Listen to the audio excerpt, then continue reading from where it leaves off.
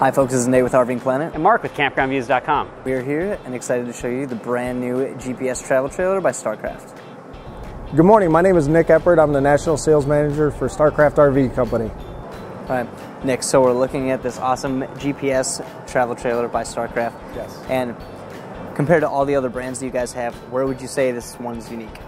Uh, this one's unique because it's unlike anything we've ever built or really the industry's ever seen.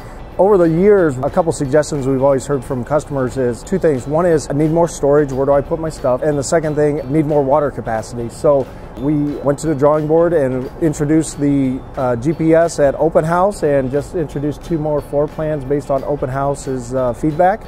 And uh, the two things that are unique about GPS is number one, every single model is going to have a tack room front end that holds a 160 cubic foot of storage. So you can bring just about anything you can think of uh, in your in your new GPS, and uh, they also all come with 100 gallons of fresh water. Awesome. So, who would you say? You know, what what type of shopper did you guys have in mind when you guys were making this?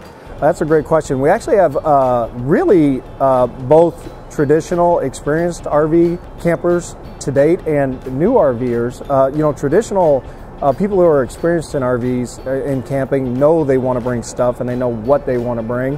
And then the new buyers that are just entering the market, they've got so many new hobbies and, and things they want to experience. So it's actually a product that is going to appeal to both current RV owners and new RV owners uh, entering the market the people that are shopping for an RV like this, even yep. though it's very unique, yep. um, where does this one stand out against the competitors? Well, uh, what makes it different is its storage capacity. Uh, having that that whole uh, sport locker in the front, nobody builds anything like this in the industry. In fact, we even uh, have a patent pending on the front end design.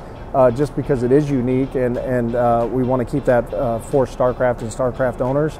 So uh, it's something right now that, that nobody in the industry offers, and it really uh, seems to uh, uh, hit a sweet spot as far as our dealers' reaction and uh, early shows uh, consumer feedback. Right.